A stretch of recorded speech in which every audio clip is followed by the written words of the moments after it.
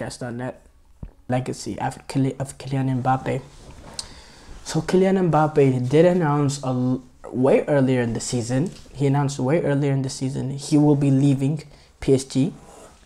Where he'll be leaving to, I don't know, and I'm not here to, you know, I'm not here to, uh, what's the word? Try to guess or anything like Real Madrid, Real Madrid. Um, but uh, but um, I think yeah, I think it's kind of clear. We all know where he's going. Um, we all know where he's locked into. Uh, uh, uh, but he will be leaving this summer. That's his reports. I thought maybe there was a chance that he might come back, depending on what happens in the the remaining fate of the Champions League. But they are now eliminated. They're now gone. So it's safe to say he will be leaving. He will be leaving uh, PSG. So uh, we gotta discuss the um, what is his legacy.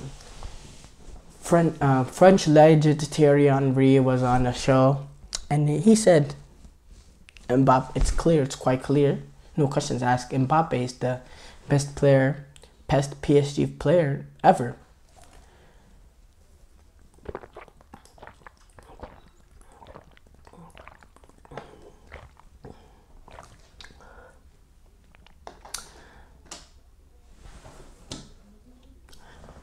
For me, that statement is quite and utter ridiculous.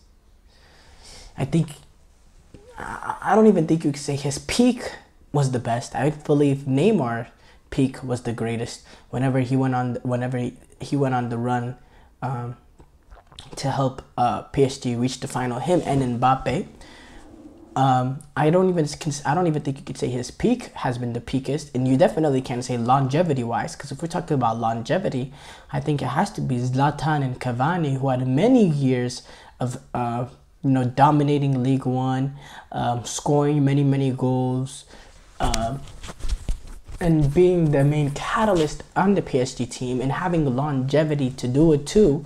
So I don't really see what he means when he says the best PSG player of all time. I, am just like, what? What? Is it because he's French? that's the only way I can like, and even then, that's that doesn't make no sense to me. I, I, I don't get it.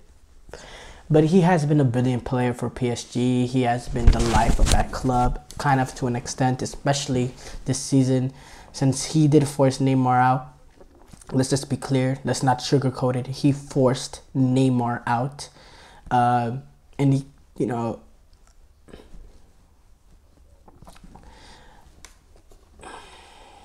Mbappe has always rubbed me the wrong way. Just based on his arrogance, his childish behavior, some things that he says, just his actions, just the way he's so, you know, oh, I'm leaving PSG, I'm not leaving PSG, I'll get this player out. Um, the way he just whines and he does it in kind of a very uh, passive aggressive way. I've, he's always rubbed me the wrong way. You know, the way he rubbed that, pushed that way, Neymar completely rubs me the wrong way. Um, and some of the little things he says, some of the little snarky, arrogant comments he had, like before the World Cup, talking about European countries being better than CONMEBOL countries and losing to a CONMEBOL country in the World Cup final a few months later, which is kind of beautiful revenge for the Argentinians. Um, but there's been a lot of things that he's done and a lot of arrogance that's just rubbed me the wrong way. And I believe at this PSG tenure, that has gotten a lot gotten in his way. Or earlier when talking with the penalty drama with Neymar and all that and Neymar and Messi. I just I'm not a big fan of him on a uh, personal level, and I think that it's affected him in his Bar uh, PSG career, not being able to reach over the top. Because let's face it, League One, winning League One is absolutely nothing. Winning League One with PSG, that's just a given. That's just that's just a given. Being at PSG, you have to win League One. You have to win the French league. Let's just let's get that out of the way. But um, not being able to uh, win the Champions League, very um, it has to be disappointing, not just for him, but for the club in general. The players that they have had, and not being able to take advantage of Mbappe while he was here. But let's face it, too, Mbappe has been wasting a lot of his prime careers, prime career years being here at PSG. I mean, he's not. He needs to go somewhere where he's at the top in week in week out. League One doesn't really provide him that. He doesn't really get the sort of attention that a guy like Jude Bellingham or Vinicius, or let's say Cole Palmer at Chelsea, or let's say you know, you know, those kind of guys that play at a top club, top Premier League club, top La Liga club. Jude Bellingham doesn't really get those kind of that kind of uh, Jude Bellingham. Uh, Kylian Mbappe doesn't really get that attention week in week out throughout the season. It's when the Champions League comes or the European Championship or the World Cup. That's when he really gets the attention that a player of his magnitude deserves. So I do think a move is a right time for him to make a move, but I, I just I don't think his legacy at PSG has been something you know some some great legacy that um that's. Uh, and not no no not the greatest of all time at all. He's had very good years. Don't get me wrong. He's had very very good years at PSG, but the greatest. I. I can't go. Um, I can't go that far. When you look at some of his performances, uh, in games, this Borussia Dortmund tie for me, he he he wasn't there. You know, he was kind of uh, not. He didn't. I I, I don't want to use the word disinterested, but it just seemed like the fire wasn't there to get on the ball, to make something happen, to make the runs in behind, to really threaten them. We didn't really see any of that at all. This uh, even against Barcelona, especially in that first leg, he, he was not that great. He was not that great. And for me, for me, he was outplayed by Jadon Sancho in the first leg. And in the second leg, he was outplayed by, I don't know, Adeyemi. You know, Adeyemi, who made that one run, who had that one run. but it's really, you know,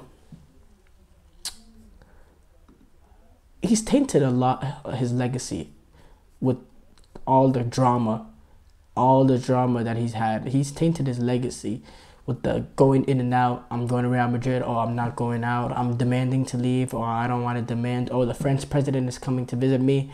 Um, okay, well, that last one is not really his fault, but the amount of rumors that's been surrounding him, the way he's forced Neymar out, he's, just, he's made himself kind of an unlikable figure at P, uh, PSG, which I don't want to go on and on and on and on about it, but uh, a lot of this drama and attention has to be from himself. So, as much of the positives you can talk about, the way he's dominated in uh, Paris, you know, and he has he's been a billion billion player for Paris Saint Germain. You can't argue that. When you look at the statistics, when you look at the performance, he has been a brilliant, brilliant player. But has he been? Um, has he done that drama free? Has he done that not being a distraction? Uh, no. At the end of the day, no. No. So I couldn't put him ahead of the likes of Cavani, Zlatan, Neymar. Neymar, okay, Neymar didn't have the longevity, but I think Neymar peaked higher.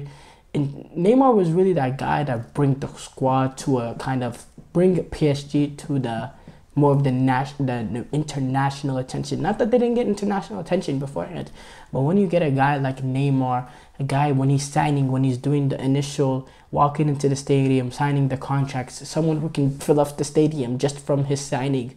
When you get a player of that kind of esque, it just it just kind of put PSG kind of different, like in the international. Uh, you know world. It just made us it just made PSG a little bit up there and not saying and not just because of that but also because of his performances.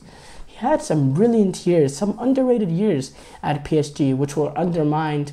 If you don't if you remember he was he had the diving uh, at the World Cup. You know he dove a few times or he not even dove he would get fouled.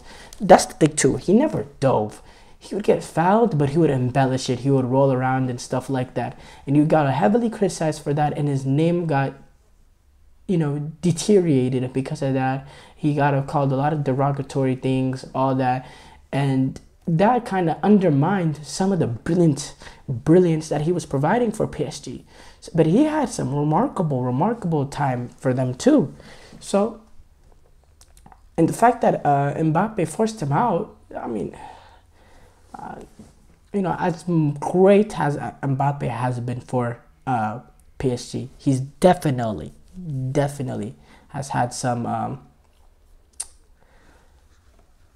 some downsides to it, but he has had a great career. But I think this is the right time for him to move on to, you know, the next, you know, venture in his career, which like let's just be for real, it's gonna come it's most likely gonna be Real Madrid.